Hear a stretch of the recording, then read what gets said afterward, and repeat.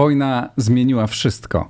Mówimy z podziwem o patriotyzmie Ukraińców, o odwadze i męstwie narodu ukraińskiego, o potrzebie obrony ojczyzny. Patriotyzm, naród, ojczyzna, te pojęcia wróciły do obiegu. O tych słowach, o ich znaczeniu, o tym, co, co zmieniła wojna dzisiaj w układzie otwartym.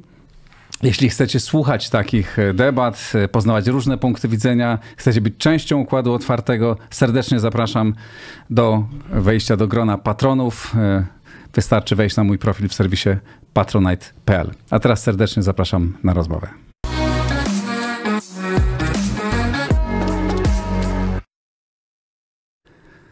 Sławomir, Sławomir Sierakowski, redaktor naczelny krytyki politycznej, lewicowej krytyki politycznej, Konstanty Pilawa, redaktor naczelny konserwatywnego magazynu e, Presję.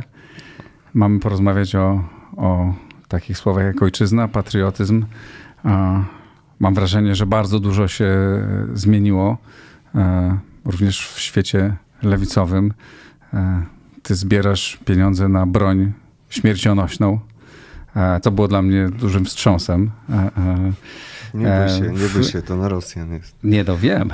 nie wiem. wiem, że nie na Konstantego. Na pewno nie. Dobrze. Dlaczego Zachód jest tak bezradny wobec wojny na Ukrainie i, w wymiarze takim... Tylko zaznaczę jedną rzecz tak. w ramach przedstawienia się jeszcze. Ja akurat lewicowe swoje poglądy i lewicowość powiesiłem w szatni na czas tej akcji i E, I naprawdę bardzo zapraszam i też bardzo się cieszę z tego, że bardzo wiele osób o prawicowych poglądach. Mówię o tej akcji zbiórka na Bayraktara się włączyło. Mhm. Sam nawet zbiórkę założyłem, Sierakowski to wróg, ale wpłacam na Bayraktara i to jest bardzo popularna zbiórka. Kibice wpłacają. No tu naprawdę nie ma w ogóle jakiegoś... E, nie widać tych poglądów po prostu. Także ja też nie zamierzam sam specjalnie tutaj z tymi swoimi poglądami też wychodzić bo naprawdę zależy mi na tym, żeby się to po prostu udało i wszystkim razem. Jak jest Ukraina, to nie ma lewicy i prawicy po prostu. Bardzo, bardzo to piękne. E, namawiam Państwa również do, e, do wspierania tej akcji i z, oczywisty, z oczywistych powodów. I tu ja też jestem kompletnie ponad podziałami. No ale wróćmy do, do głównego, do głównego tematu. Kostek, dlaczego Zachód jest tak bezradny wobec E, wojny na Ukrainie i w wymiarze takim no, instytucjonalnym, wojennym nie może sobie dać rady, ale też intelektualnie zderza się z czymś, co, z czym nie umie sobie poradzić. Nie, no, na początku mały disclaimer, to nie jest tak, że cały Zachód nie daje rady mm, i to nie daje rady Jasne. i to nie jest tak, że y, trzeba teraz bardzo mocno w ten Zachód uderzać, no bo mamy do czynienia z starciem cywilizacji jednak, więc nawet z pozycji e, konserwatywnych, prawicowych, które współcześnie w Polsce sceptycznie podchodzą do kondycji e, Zachodu, trzeba trochę wstrzymać konie. Tak? To nie jest tak, że ta wojna obnaża cały Zachód, no bo jednak Zachód bardzo mocno tej Ukrainie pomaga na czele z Stanami e, Zjednoczonymi, które jako tako w ogóle podtrzymują istnienie e, ukraińskiego, ukraińskiego państwa.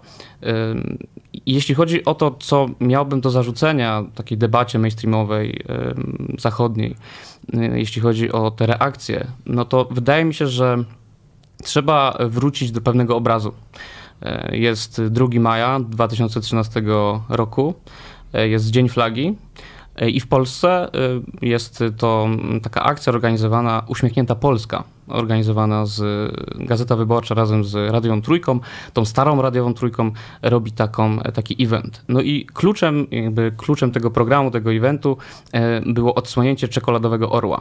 To był taki czekoladowy orzeł z białej czekolady. No i tam Komorowski, Bronisław Komorowski mówił e, o tym, że e, no teraz trzeba się uśmiechać, trzeba się otworzyć na przyszłość, na Europę i ten patriotyzm taki, można powiedzieć, martyrologiczny, kojarzony właśnie z konserwatyzmem, patriotyzm który pokazuje no, te krwiste plamy w naszej historii, trzeba odłożyć do lamusa, bo teraz czeka nas nowy świat. I wydaje mi się, że taka mentalność, która przyszła do Polski chyba y, najmocniej za kadencji drugiej Platformy Obywatelskiej, ona jest obecna nadal y, w mentalności zachodniej. Y, I tutaj wiąże ten to mentalność taką koncepcją narodu, która jest stworzona przez Benedicta Andersona, o tym, że naród to wspólnota wyobrażona. Dlaczego naród to wspólnota wyobrażona? No bo mamy instytucje, mamy język, mamy, mamy szkołę publiczną, tak? mamy obieg informacji w językach narodowych i wszystkie te instytucje państwowe produkują symbole. No a wielomilionowe państwa e, zasadniczo nie znają się. Ci ludzie się nie znają i jedyny dostęp do, do narodowości jest przez te symbole właśnie. I dlatego naród jest wspólnotą wyobrażoną. Tylko zauważmy, że taka... A nie realną polityczną. A nie realną, nie realną polityczną. Nie, polityczną też, no właśnie polityczną, natomiast nie taką, że istnieje Żywą. gdzieś w DNA, czy we krwi, czy z jakimś takim bytem innym niż konstrukt społeczny. Tak. Y, jest konstruktem y, zakorzenionym właściwie w, symbolach. No i widać, że ta konkretna koncepcja, y, jak patrzymy na Ukraińców, po prostu no, jest nieadekwatna. Tak? No bo jeśli by mówić o tym, o tym nacjonalizmie, czy, czy patriotyzmie, czy narodzie wyobrażonym, no to co łączy typowego mieszkańca Kijowa z typowym mieszkańcem wschodniej Ukrainy? No, można powiedzieć, że mają problem z językiem, mają problem z odmiennymi w ogóle tradycjami, kulturą i tak dalej, więc ci producenci tych... tych Też z historią, ze swoimi i, korzeniami. I z historią. I, I, nagle jak jeden mąż y, mówią, że walczą za naród, za naród ukraiński, za naród żywy ukraiński. To, to jest taka koncepcja narodu politycznego, takiego codziennego plebiscytu, w którym y, nowoczesny naród Ukrainy, który powstał Myślę, że jego manifestacja najmocniej e, zaznaczyła się od 2014 roku. E, teraz trwa i ten codzienny plebiscyt e, jest, jest tak, taką koncepcją narodu czy też nacjonalizmu politycznego, który, który dzisiaj nie jest rozumiany na Zachodzie. Ja mam takie wrażenie, że na Zachodzie patrzą im dalej od granicy rosyjskiej, to na ten konflikt patrzą jak na taki trochę, no nie wiem, szeregowca Rajana na Netflixie, nie? że jesteśmy na, na tej swojej kanapie, oglądamy ten heroizm, ale to jakoś nas nie dotyczy. Jak to jest możliwe, że zwykli ludzie e, chwytają za broń i, i walczą e, o, o swoją egzystencję? My na Zachodzie skupiliśmy się najmocniej dzisiaj na konfliktach symbolicznych, e, a tam mamy konflikt egzystencjalny i, i tego po prostu nie jesteśmy w stanie przeskoczyć. Mm, Im bliżej do granicy z Rosją, tym ta świadomość jest wyższa i myślę, że Polska tutaj no, daje radę, że jesteśmy jednak, pokazujemy, że jesteśmy narodem politycznym, Y, i również ta akcja z, z zbiórką na Bayraktara to pokazuje, że w poprzek y, sporów światopoglądowych nagle, nagle jesteśmy w stanie zaangażować się politycznie, bo wiemy, że tam dzieje się prawdziwa polityka i trzeba symbole odrzucić czy no, powiesić w szatni. Sławek, czy to czy jak pojęcie narodu i poczucie y, bycia częścią narodu politycznego, również w, w państwach tych zachodniej, zachodniej Europy, bo to o Europie przede wszystkim mówimy, twoim zdaniem się w jakikolwiek sposób odradza? Jest taka świadomość tego, że tak, to jest, to jest, to jest ważny byt? Na, no, Ukraina jest trochę w innym miejscu i na mapie, i w ogóle w takim procesie e, budowy swojej tożsamości niż Europa Zachodnia. I myślę, że musi przejść przez taki moment, e, nawet bym powiedział nacjonalistyczny, e, który ja dobrze rozumiem i, e, i mam dlatego, i, i, i, że tak, i nawet to popieram w takim sensie, że każda wspólnota, która się tworzy, integruje, ona się musi trochę zakochać też w sobie. I to jest zupełnie naturalny proces. I wydaje mi się, że dzisiaj ta świadomość narodowa się budzi, rozszerza w Ukrainie. Jednym z nich, z jej nośników jest język ukraiński. Jak sobie przypomnimy, przed 2014 rokiem e, sondaże i takie pytania, czy jesteś, e, czy, czy no, najróżniejsze, które badają tożsamość narodową, to, one, to te sondaże były no, takie około połowy mniej więcej. Dzisiaj to jest do 80%, a w tej chwili już prawie 90% tam z czymś. No, ciężko zrobić dzisiaj sondaż na całym terenie Ukrainy, ale no, wyobrażamy sobie, jak muszą się czuć Ukraińcy. Więc to, co Rosja zrobiła, to z Rosjan mieszkających w Ukrainie nawet zrobiła Ukraińców.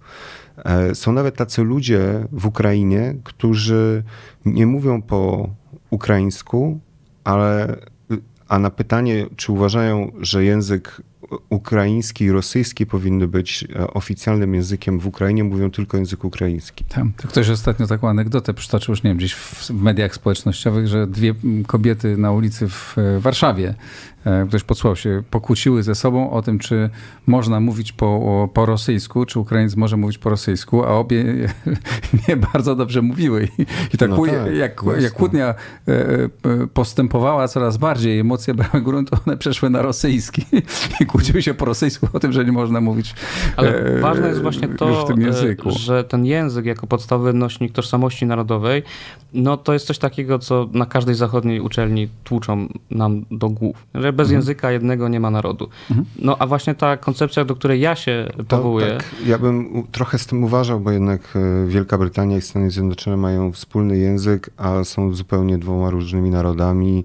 Te, tych przykładów można mnożyć. E, tak, ale język jest jednak podstawowy. Nie? Jest jakby bez. Y takiego narzędzia w nowoczesności jak wspólny język trudno budować odgórnie tożsamość.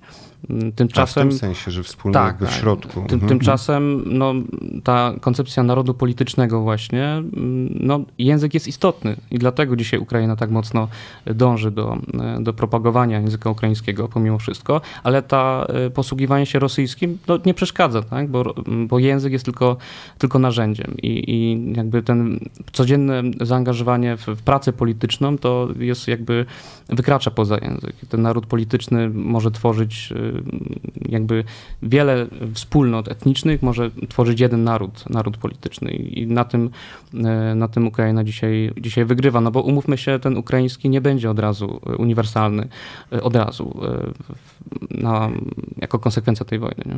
To, to rodzenie się Ukrainy jako narodu jest fascynujące, ale o tym, ale to już trochę o tym już w ostatnich miesiącach czy tygodniach mówiono. Nie?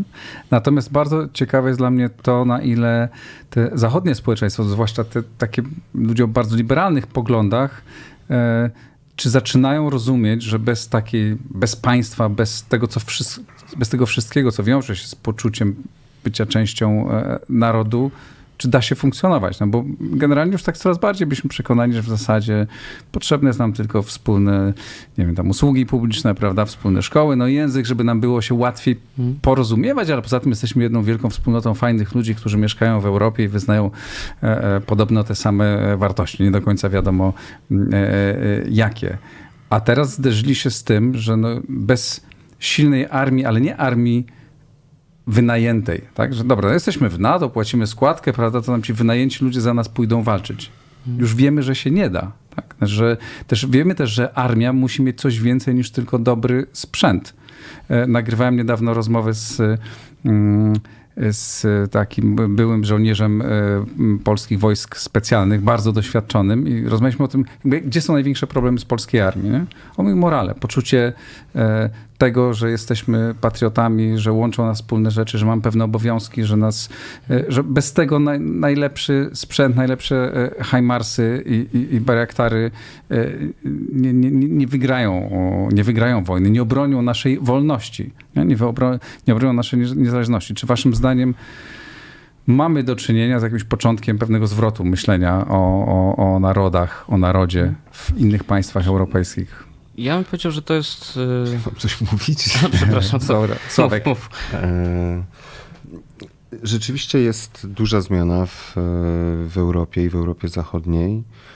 E, ona się też dobrze wyraża w takim najprostszym badaniu, które, mm, w którym zadaje się jedno pytanie, czy walczyłbyś za swoją ojczyznę? Mhm. ojczyznę? I te procenty wcześniej to było 18, 19, 20, jakieś, takie szalone, no takie, które właściwie są zaproszeniem jakiegoś innego kraju do, do, do inwazji.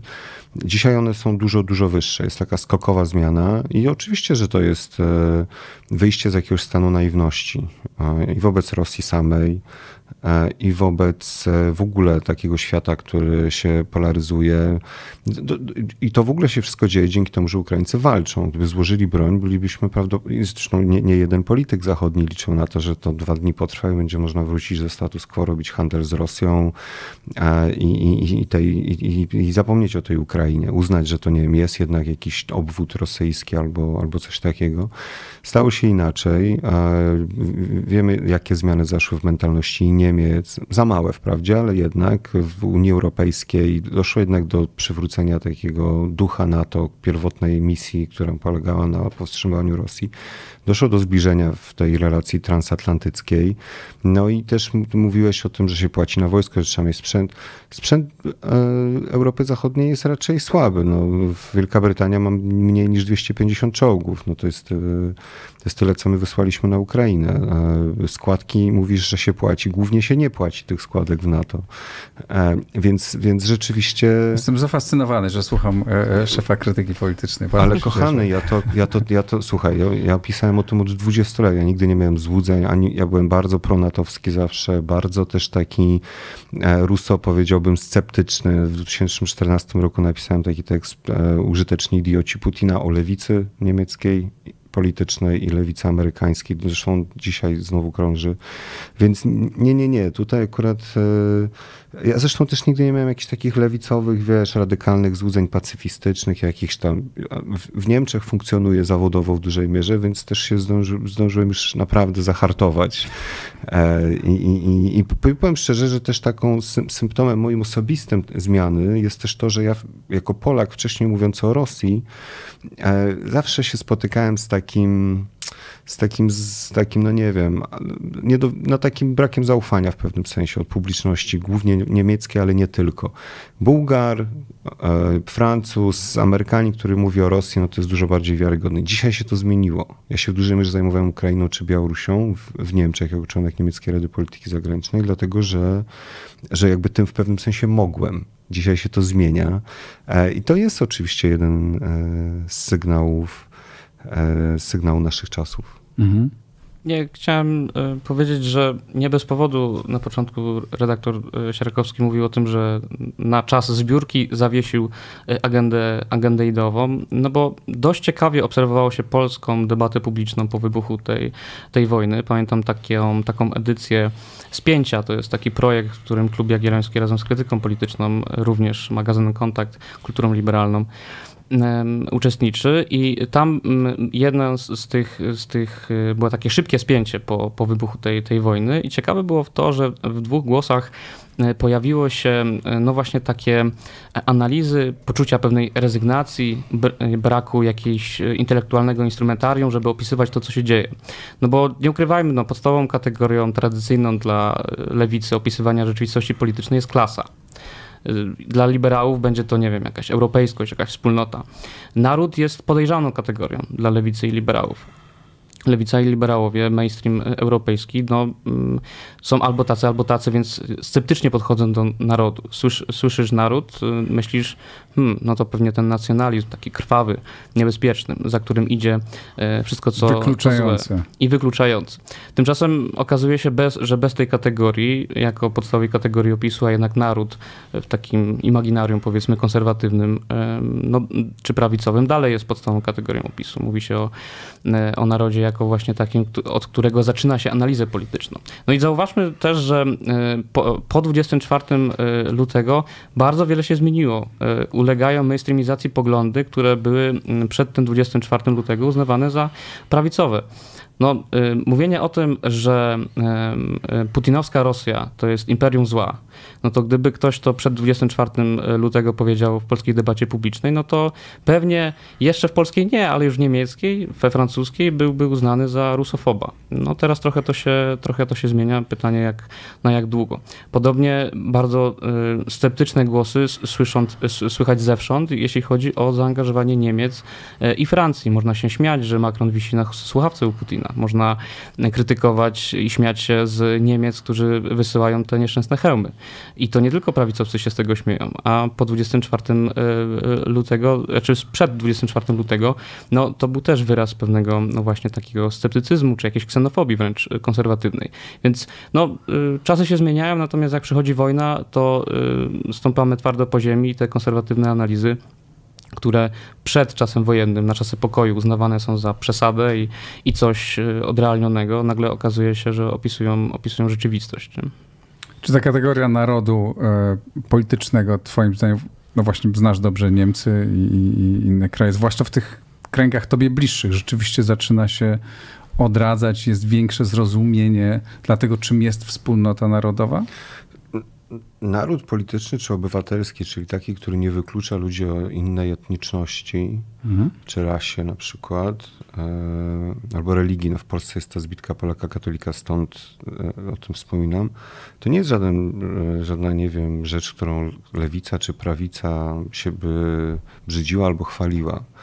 E, taki naród polityczny, e, czy, czy, czy, czy, czy, czy mówi się no, w tym anglosaskim, w tym anglosaskim znaczeniu tego słowa, czyli naród obywatelski, to, nie, to, nie, to jest raczej coś, co jest powiedziałbym na antypodach nacjonalizmu, tak jak go rozumiemy. Chociaż znowu nacjonalizm też w tym anglosaskim znaczeniu ma troszkę bardziej, jest trochę bardziej miękkim pojęciem, nie jest aż tak pejoratywny. Tam się mówi raczej o ksenofobii czy szowinizmie. To jest odpowiednik tego, co my nazywamy nacjonalizmem.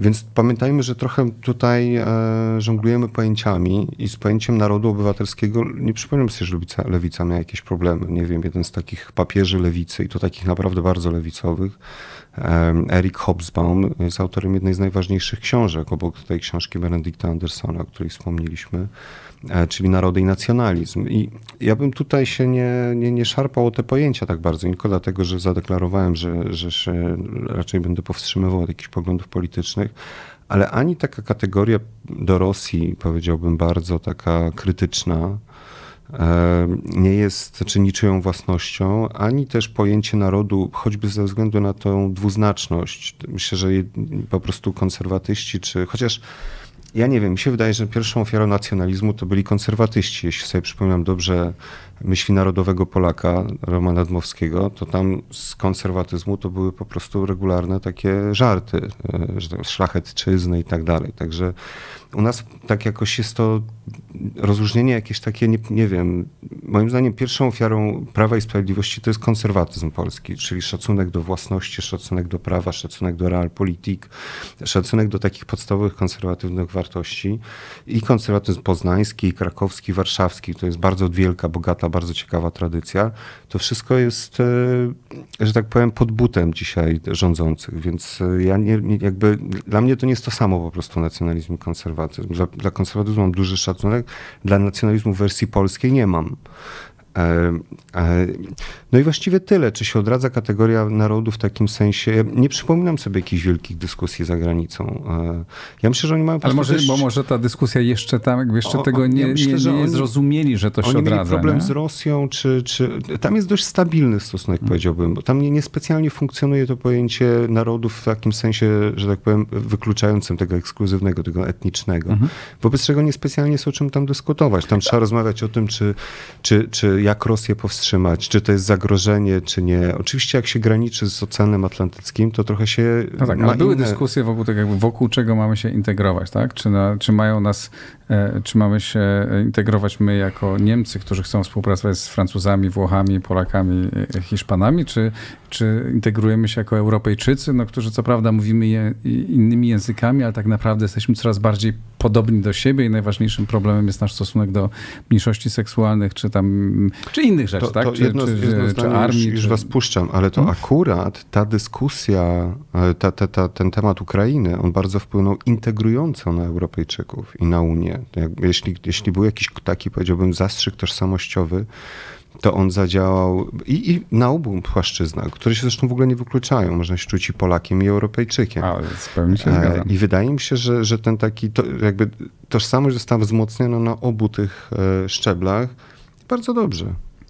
Ja bym się nie zgodził, że tożsamość europejska została wzmocniona przez konflikt na Ukrainie. Myślę, że tożsamość transatlantycka została wzmocniona. To też się nie wyklucza. Yy, też się nie wyklucza. Natomiast yy, no, jeśli patrzymy na to, jak Niemcy i Francja, czyli dwa największe państwa, e, które mają e, przewodniczyć e, Unii Europejskiej, zachowują się wobec, wobec Rosji, zachowują się kunktatorsko i są powszechnie krytykowane nie tylko przez Polskę, przez całą Europę Środkową, przez Skandynawię, przez Stany Zjednoczone, no to coś jest na rzeczy.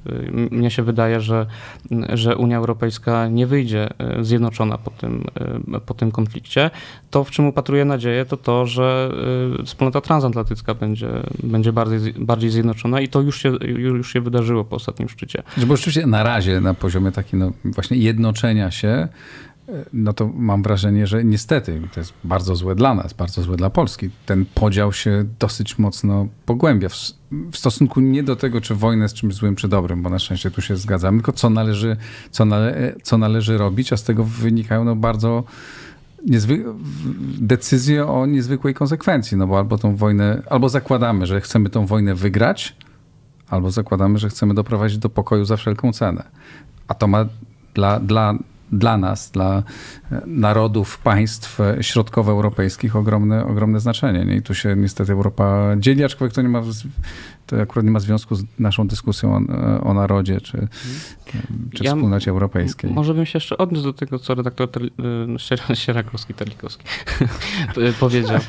Jakieś mogę zbliżenie już nas, po obu stronach, jak widać, następuje Żeby zebrać się mogę się zamienić też w redaktora Terlikowskiego, którego serdecznie pozdrawiam. Nie ma, nie, Wszystkich dzisiaj To był tak zwany kiss of death.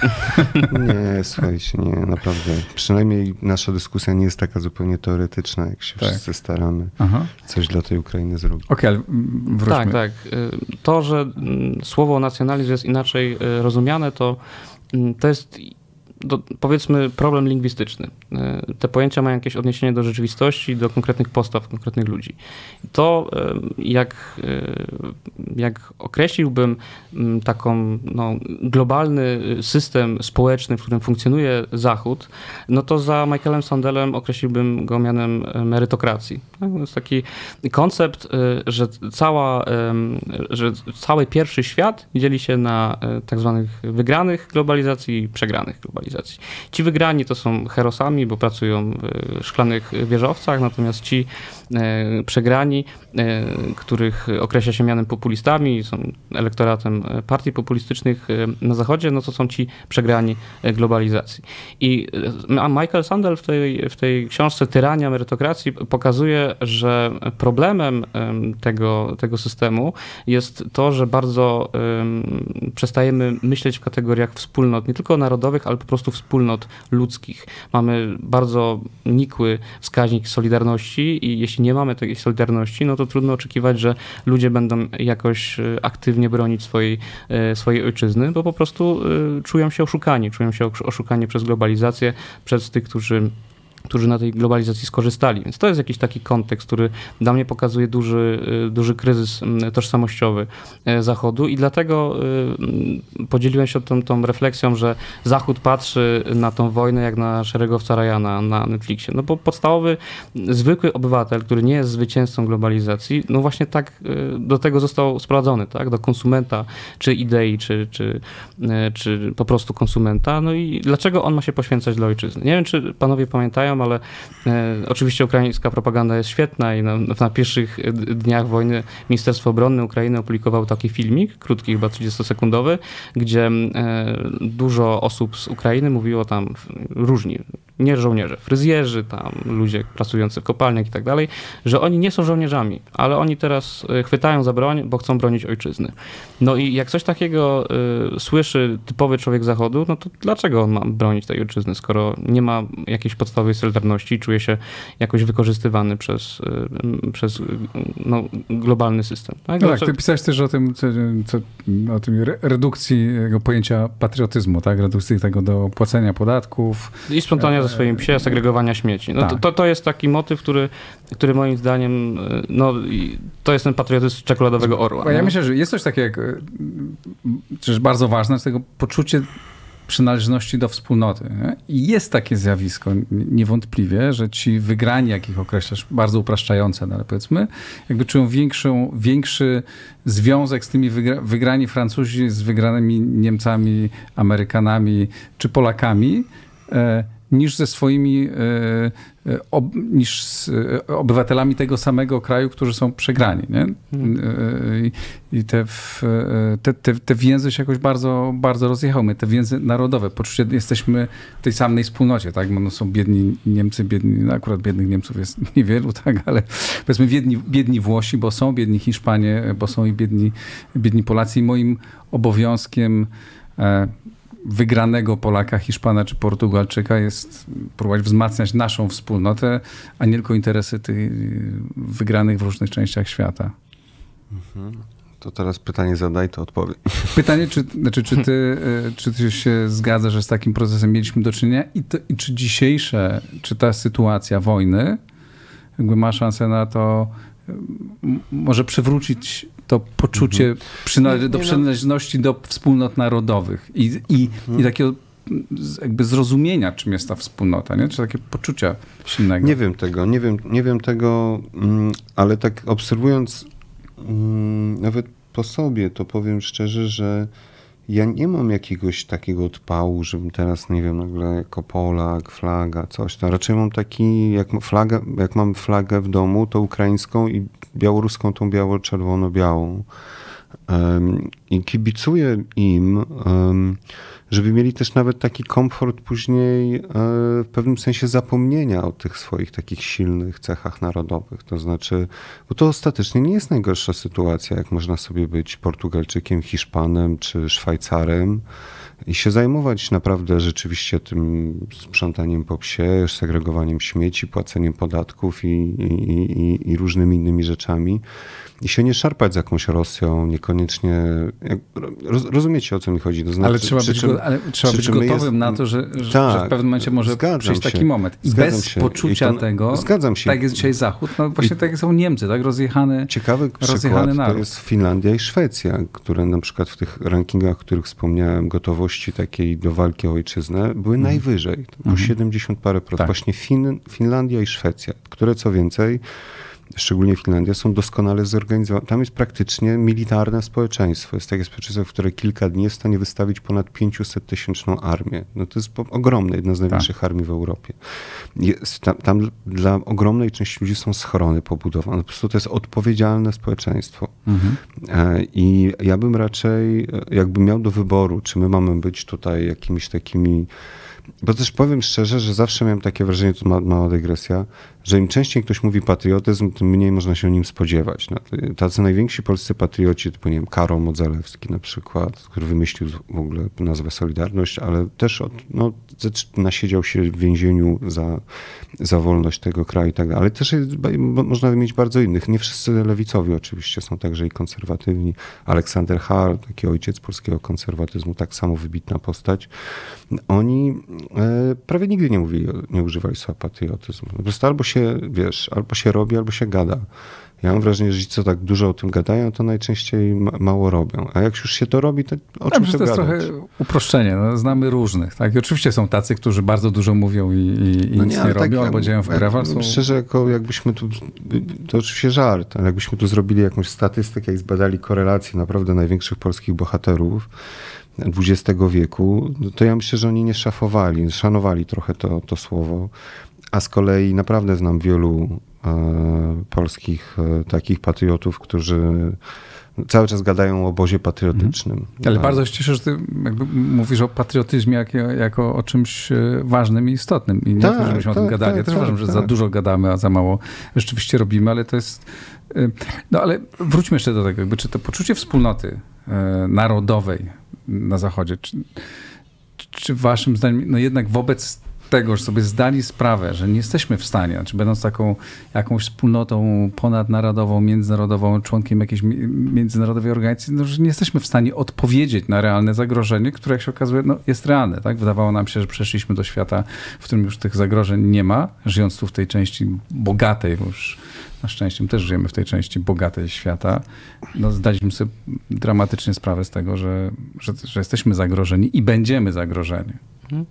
No, ja tego nie wiem, ale dzielę się trochę wrażeniami z tej, z tej dyskusji, no bo ona jest taka mm, operująca na, na pojęciach, y, co do których pewnie mamy zgodę, no ale to są olbrzymie procesy, które trudno ująć w jakieś takie proste, proste syntezy.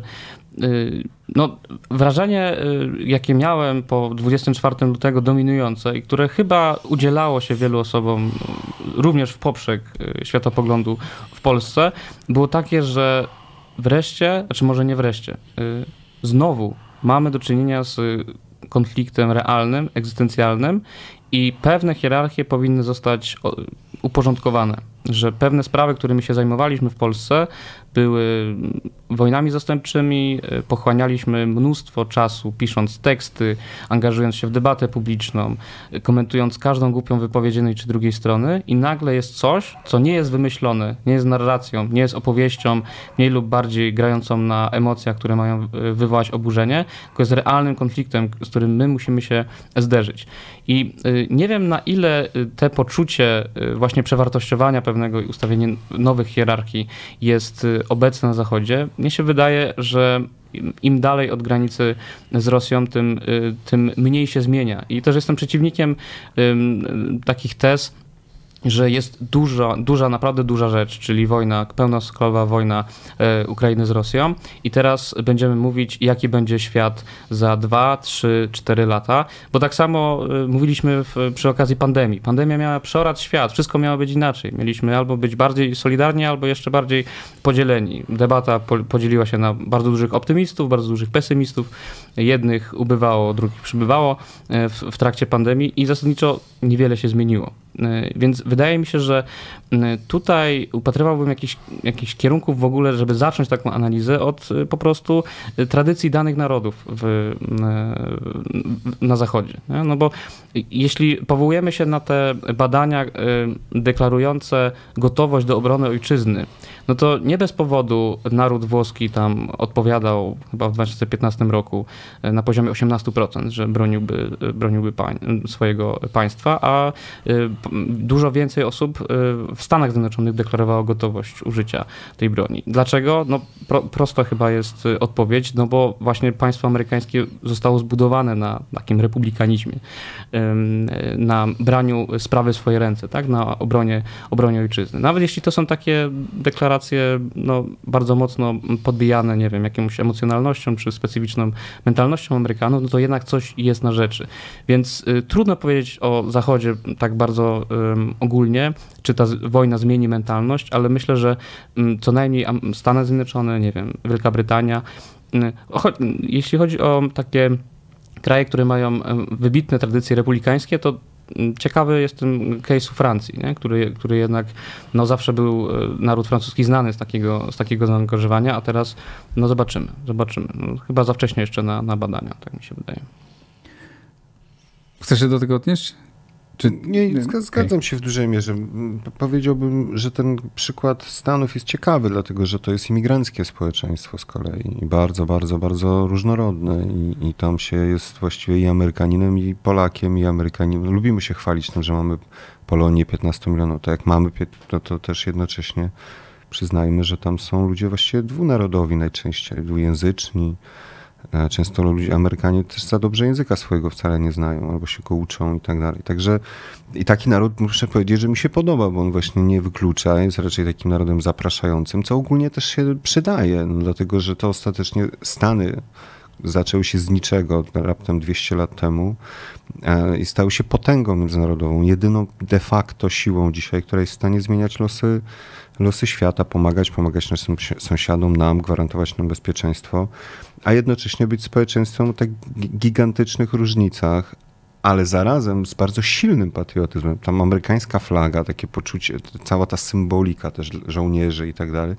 To, to, to jest wszystko jeszcze do tego i ładne, i fajne, i się podoba, i się roznosi, i to jest siła, to jest to tak zwane soft power, którą Amerykanie mają i trzeba przyznać, że Ukraińcy w tej chwili sobie y, trafili no, na pudło przynajmniej. To znaczy są tak kochanym społeczeństwem, są tak skuteczni informacyjnie, że no, myślę, że jak znajdą się w NATO, to będą wszystkich szkolić, jak się prowadzi wojny jak się prowadzi też wojny informacyjne, e, o ile do NATO zostaną przyjęci, więc to jest też paradoks. Napisałeś, że mm, mówię też do, do Kostka o tym, że rodzi się nowy polski polityczny nacjonalizm. E, rozumiem, że to nie miałeś e, e, na myśli tego nacjonalizmu wykluczającego, no bo tak często rozumiemy to pojęcie i to mm. tu mnie to zazgrzytało, ale że mm, no bo może wytłumaczę, nie, pytam, nie, będę, nie będę ja mówił, co, to, co To ja powiem, z czego to się wzięło. -hmm. Na pewno pamiętacie, jak w zachodnich nagłówkach nazwano nas humanitarnym, humanitarnym imperium.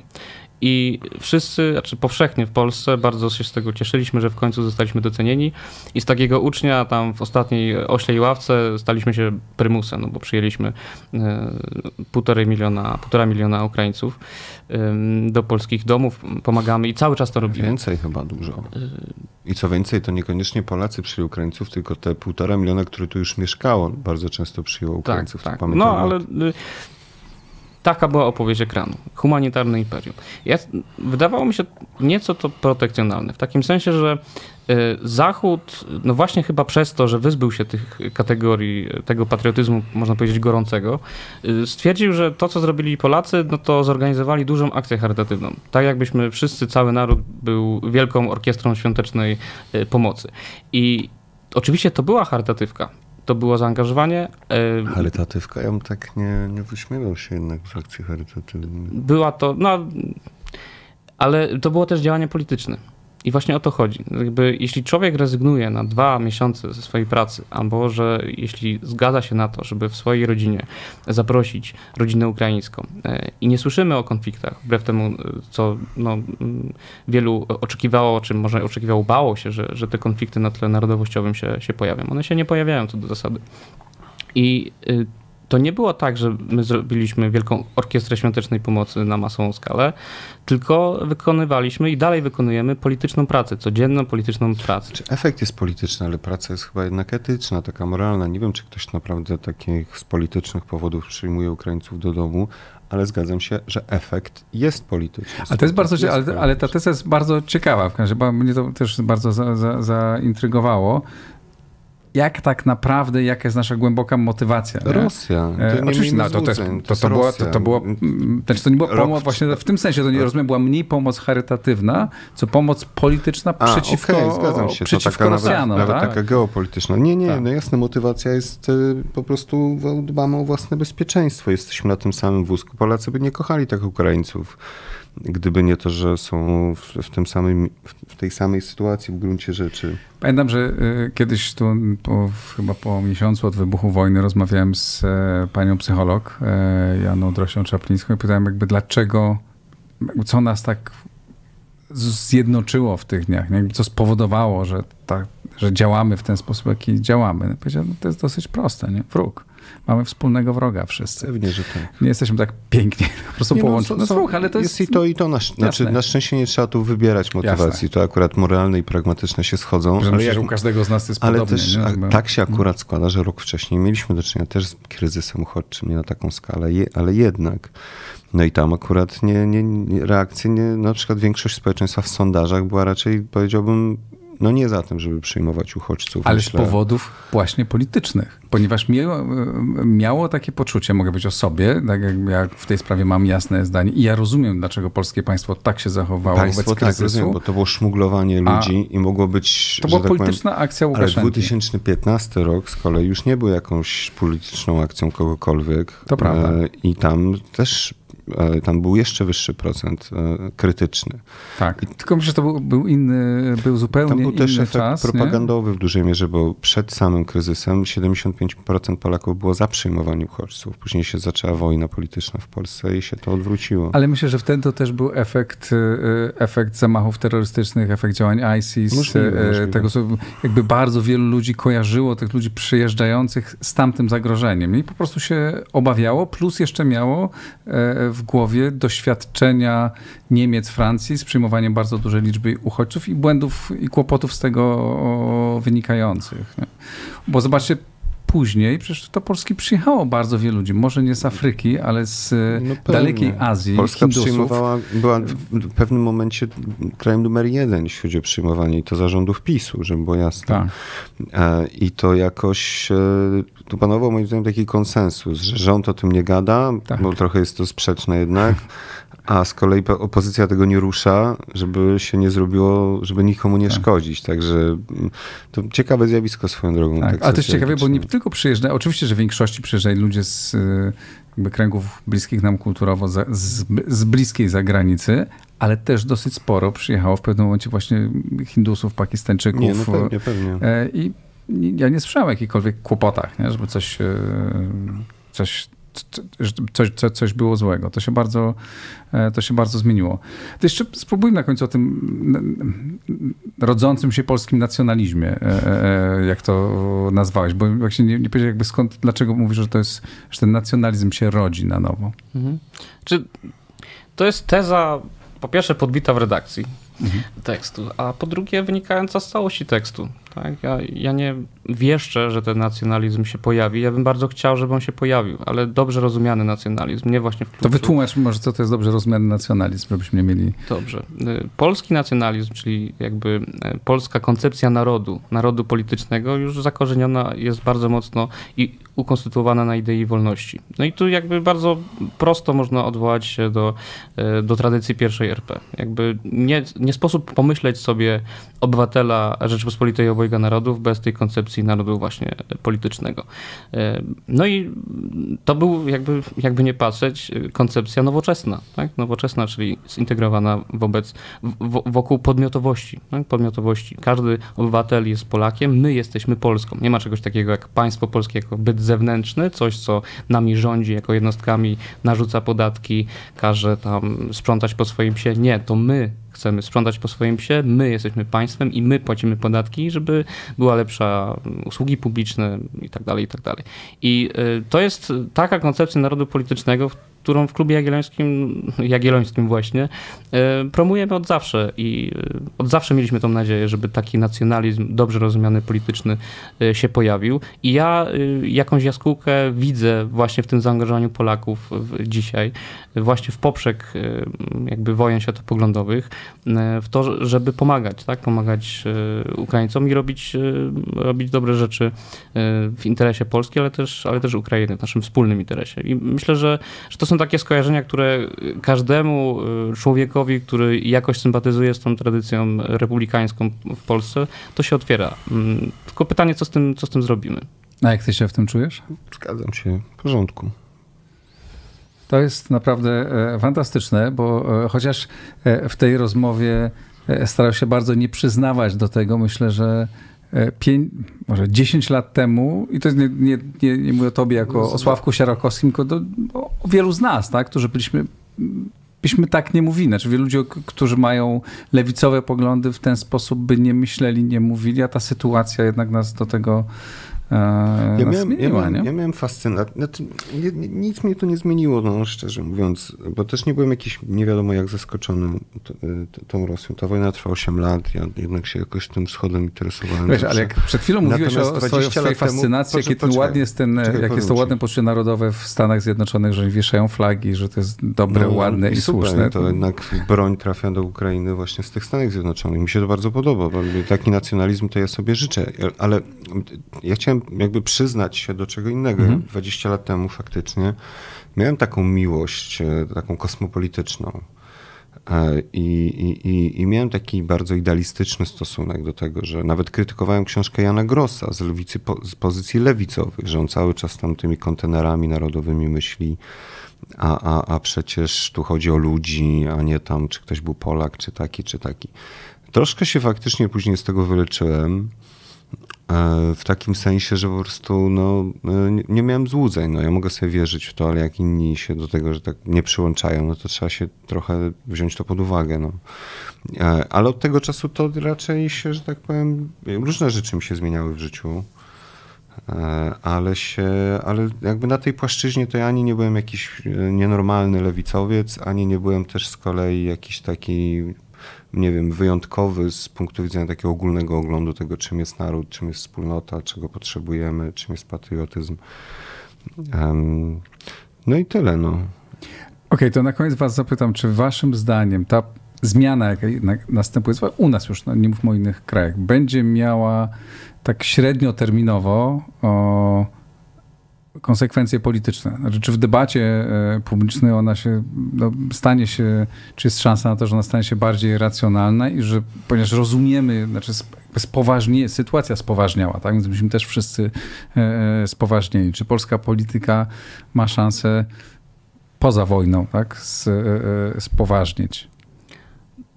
Ja, czy widzicie tego sygnały?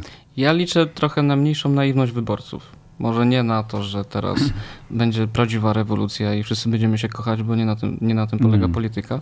Natomiast y, liczę na mniejszą naiwność y, wyborców, w wiarę w te konflikty symboliczne, jak je nazwałem na początku, na początku rozmowy. Mamy taki czas, że zagrożenie, nawet jeśli ta wojna się skończy, to czekają nas realne zagrożenia. Realne zagrożenia, które będą y, wymagały solidarności. Tak?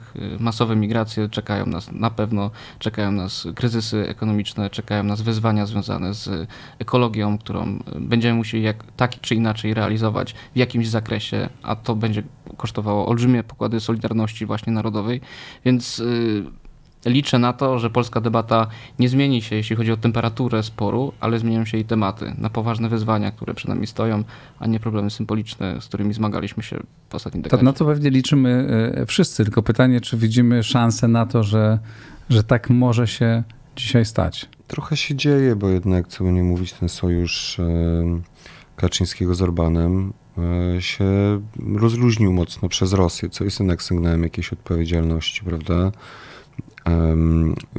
Przypomnijmy, że akurat polski nacjonalizm tradycyjnie był prorosyjski. E, znowu odwołuję się do Romana Dmowskiego, przy czym znowu to było raczej takie taktyczne, też to były problemy z asymilacją. Wiadomo było, że nie, do Niemiec się możemy. Niemcy są skuteczniejsi, jeśli chodzi o asymilowanie Polaków niż Rosjanie i tak dalej. Tak to są oczywiście dyskusje o historii rewolucja prezydenta to jest dla mnie bardzo pozytywne zjawisko. Więc są te sygnały, że tutaj się jakoś tam jednak w tych różnych częściach zbliżamy do siebie e, i uważam, że bez zastopowania konfliktu politycznego, bez, e, bez, bez zmniejszenia jego skali, trochę większego zaufania do siebie, jakiegoś też instrumentu, który pozwalałby nam na osiąganie konsensusu w zasadniczych sprawach, grozi nam poważne niebezpieczeństwo na własne życzenie. No, to ciekawe, e, że tak, znaczy bardzo się cieszę, że, e, że tak można, bo przypomnijmy, ta fala wielkiego protestu symbolicznego, e, wokół strajku kobiet i to, prawda, to był znacznie szerszy protest niż tylko w sprawie wokół zmiany de- aborcji. powiedzieć wokół decyzji Trybunału. Tak, tak, tak, ale, jakby, ale, to, no, ale to była iskra, ten protest moim zdaniem był znacznie, chodziło w nim o coś znacznie więcej niż tylko o tym, ale to był jednak protest, to była wojna właśnie symboliczna, nie? A, tu, e, e, a dziś mówimy e, o zupełnie, o zupełnie innych kwestiach, które naprawdę są fundamentalnie, fundamentalnie ważne. I w zasadzie się mam wrażenie, że było ta, ta debata jest nieudana, bo myślałem, że się będzie spierać jakoś nie, fundamentalnie, się nie spierali. E, e, e, e, i w, e, Klub Jagielloński, presja to zawsze było coś, co ja szanuję. Bardzo się, się, tak naprawdę to, bardzo... Wytniemy to. Nie wycinajcie tego. Bardzo się cieszę. Nie, wytniemy, żeby wrzucić na swoje socjale. A, wytniecie. Bardzo dobrze, bardzo dobrze. Ale to będzie... Pos... Nie niedawno to byłby posełnek śmierci, może już tak się zmienia, że nie. bardzo wam dziękuję. Sławek Sierakowski, krytyka dziękuję. polityczna, Konstanty Pilawa, presję. Dziękuję bardzo bardzo. To wszystko na dzisiaj tak jest właśnie układ otwarty. Przychodzą ludzie różnych, patrzący na świat z różnych stron, a, a okazuje się, że myślą o nim bardzo podobnie. Dziękuję, do usłyszenia i do zobaczenia.